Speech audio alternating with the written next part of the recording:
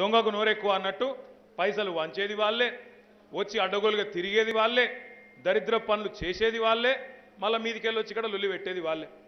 నేను ఒకటే దయచేసి ఇక్కడ ఉండే రాజన్న సిరిసిల్ల జిల్లా బిడ్డలకు ఈ వేదిక ద్వారా పత్రికల ద్వారా మీడియా ద్వారా రాష్ట్రంలో ఉన్న తెలంగాణ ఆడబిడ్డలకు తెలంగాణ అన్నదమ్ములకు నేను చేసే విజ్ఞప్తి.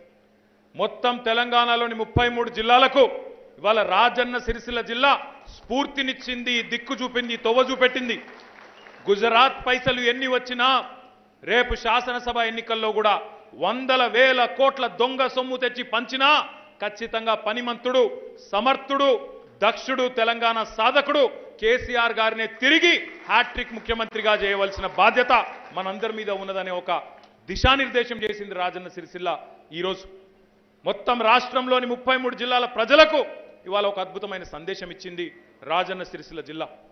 ఎన్నికలు కొట్లాడే దమ్ములేక కాదు ఎన్నికలు కొట్లాడే